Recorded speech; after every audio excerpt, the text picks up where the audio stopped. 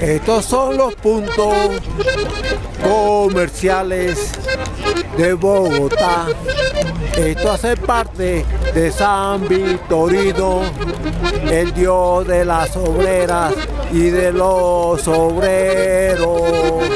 Aquí se trabaja duro y parejo, duro y parejo.